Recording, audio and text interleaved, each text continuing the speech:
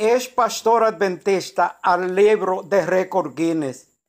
Soy el primero en subir a las redes sociales más de dos mil videos poniendo en público la violaciones de los derechos humanos de la iglesia adventista. Soy el primero en demandar a la secta dañina y destructiva iglesia adventista por la violación de la Convención de Palermo.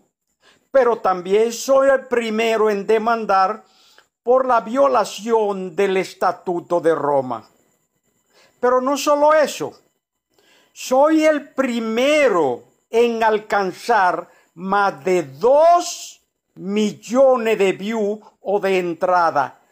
Todos mis videos hablando de estas violaciones de la secta dañina y destructiva Iglesia Adventista.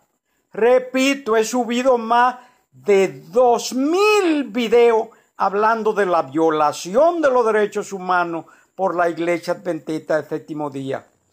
Por varias razones soy el primer ex pastor en ir a Record Guinness porque ningún otro enemigo de la iglesia adventista como D.M. Carray, Walter Reed y Desmond Ford subieron esta cantidad de material a las redes sociales. Muchas gracias a las personas que me han estado siguiendo y a los que me acompañan, pero también gracias a aquellos que me mandan al diablo.